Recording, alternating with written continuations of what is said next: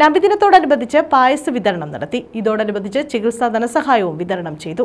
Chavara ഇടപ്പള്ളിക്കോട്ട autorickshaw തൊഴിലാളികളുടെയും വ്യാപാരി വ്യവസായികളുടെയും നേതൃത്വത്തിലാണ് ധനസഹായം നൽകിയത്. ചവറ ഇടപ്പള്ളിക്കോട്ടയിലാണ് നബിദിനത്തോടനുബന്ധിച്ച് പായസ വിതരണം നടത്തിയത്. ഇതോടനുബന്ധിച്ച് ചികിത്സാ ധനസഹായവും വിതരണം ചെയ്തു. ഓട്ടോ തൊഴിലാളികളുടെയും വ്യാപാരി വ്യവസായികളുടെയും അനുബന്ധ തൊഴിലാളികളുടെയും സംയുക്ത ആഭിമുഖ്യത്തിലാണ് പരിപാടി സംഘടിപ്പിച്ചത്. ടൗൺ മസ്ജിദ് ഇമാമിന്റെ നേതൃത്വത്തിൽ പ്രാർത്ഥനയും നടത്തി. മക്കളൊക്കെ കണ്ടുപഠിക്കുന്ന രൂപത്തിൽ ഇതിൽ ഏറ്റവും പ്രധാനപ്പെട്ടത് മതമൈത്രിയാണ്. എല്ലാ വിഭാഗക്കാരും ചെറുപ്പക്കാര് നമ്മുടെ ഹൈന്ദവ സുഹൃത്തുക്കളും എല്ലാം ഒരുമിച്ച് കൂടി വളരെ ഒത്തൊരുമയോടുകൂടി അവരൊക്കെ ഇതിന്റെ പ്രവർത്തനങ്ങളിലുണ്ട്.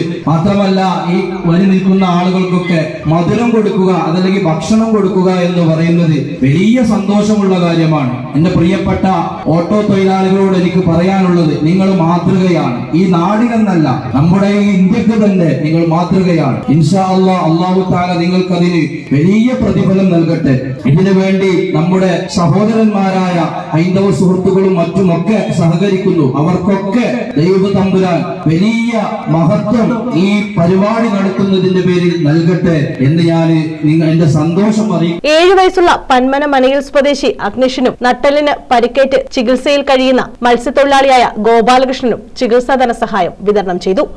News bureau Chavara.